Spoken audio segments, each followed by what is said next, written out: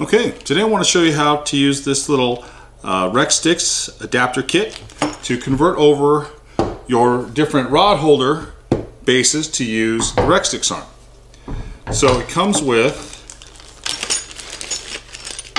comes with a Rexstix extension arm, stainless steel carriage bolt, a knob, and this adapter disc that has different teeth and gearing to work with all these different rod holder bases. So, so let's start with the uh, Scotty rod holder.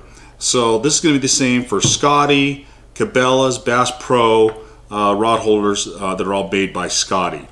So we just take out the bolt and the knob. You're not going to need those.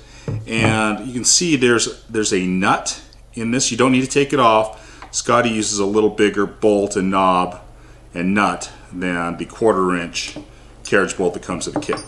So go ahead and leave that in there and you just go ahead and put your disc on. Just like that of course you know. Pretty clear you just put the teeth against the teeth match it up there. Put your extension arm through with your carriage bolt and then you attach your knob. Now this knob only works one way. You got to make sure you can see the nut as you tighten it on. If you put it on the other way the nut's going to actually pull out of there. So this way it tightens the nut into the knob as you tighten it down. So go ahead and just tighten that in and now it's, it's locked on there, it's not going anywhere. You loosen the knob to adjust the position, whatever position you want, tighten it down. Simple, works great. This is your Yak Attack rod holder and you can attach the Rex Rexstix either on the extension arm up here, we're going to attach it down here on the base. Same process for both, either position. Now we're going to go and take off the knob here. Move that knob you can we can use th this knob or you can use the knob that was in the kit. You can choose to use the spring or not. Go ahead and take that off. The carriage bolt, you can also use that. It's a little shorter than the carriage bolt, the two inch carriage bolt that comes with the Rexstix kit. You can use either carriage bolt. So now I'm just going to go ahead and same thing.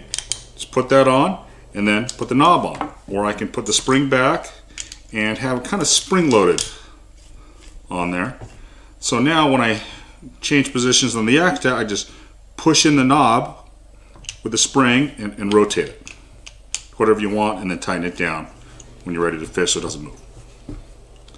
So that's the Yak Attack rod holder base. This is a Railblaza rod holder.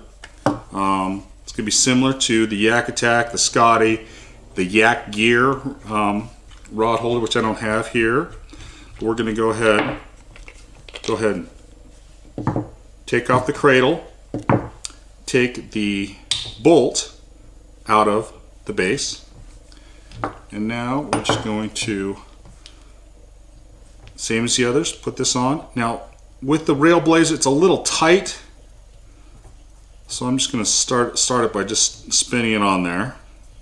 And then once I've got the bolt exposed, just going to go ahead and take my knob, put it on there, and just by tightening the knob, it's going to pull it all together. Make it nice and tight. It's not going to move at all. There you go. Tighten it down. Tighten it down. It's locked in place. Okay. And when I want to change positions, I just loosen the knob and I can rotate the arm whatever position I want tighten it back up, lock it down. So now that's your Railblaza rod holder. Okay, this is the rod holder made by Ram. We're going to go ahead and take this Ram cradle off of here. Just take the knob off.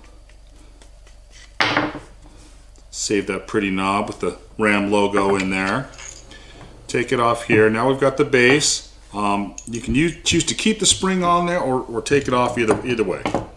So now, with your ram rod holder base, you're probably going to want to get a longer arm. Um, it'll work with a two inch carriage bolt, but you see it's just barely coming out of the side. Um, a two and a half inch carriage bolt would actually work better, but still works just be more secure with a longer carriage bolt. With all of these systems, the gearing on the adapter disc lets you actually double the amount of positions you can you can use for your rod holder. So I have all the different positions for the gearing on this side. I just rotate the disc one position and now I've doubled the amount of positions the arm can go in. So it gives you a lot more variety of where you want to keep that rod. Tighten it down. Now you've got the fastest rod holder out there. Push down on the arm to unlock it.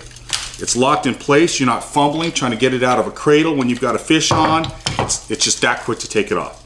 So you're gonna catch more fish by using that Rexstix rod holder.